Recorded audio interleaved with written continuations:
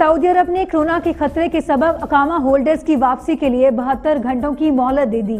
Saudi airline और PIA की टिकटें नायाब होने के सबब सऊदी एयरलाइन के दफातर के बाहर मुसाफिरों की लंबी लाइन लग गई। पीआईए के मुसाफिर भी प्रेस क्लब के सामने सरापा एहतजाज बने रहे। बहत्तर घंटे बहुत ज़्यादा हो रही है। टिकट मिल नहीं रही।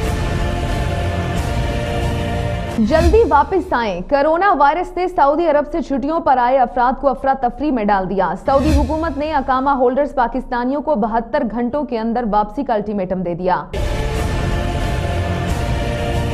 छुट्टियों पर पाकिस्तान आए शहरी सुबह सवेरे ही पीआईए और सऊदी एयरलाइंस के दफातर पहुँच गए। वापसी टिकट कटवाने के लिए मुसाफिरों की सऊदी एयरलाइन के दफातर के बाहर लंबी कतारें लग गईं। सुबह भी वैसे ऑलमोस्ट लील कर रहे हैं कभी कहीं लाइंस कभी कहीं लेकिन अंदर ओनली सिर्फ़ नंबर ले रहे हैं कि अगर फ्लाइट्स आई तो आपकी बुकिंग ओके होगी तो वो टिकट्स आपको देंगे अदरवाइज़ कोई नहीं पता है। इनको खुद नहीं पता क्या करना है। मुसाफिरों का कहना है कि सऊदी एयरलाइन के पास टिकट मौजूद नहीं जबकि चालीस हज़ार रुपए वाला टिकट डेढ़ लाख रुपए में फरोख्त किया जा रहा है। तो नहीं मिल रही। मैंने ऑनलाइन सर्च किया नहीं मिल रही।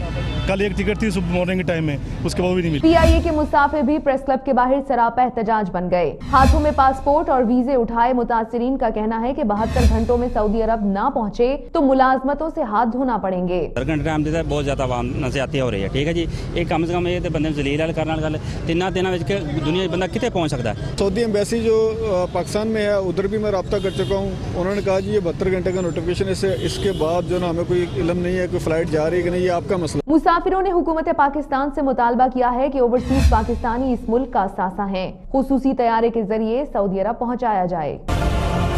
बहत्तर घंटे टाइम देता है बहुत ज़्यादा आवाम नसियाती हो रही है। टिकट मिल नहीं रही।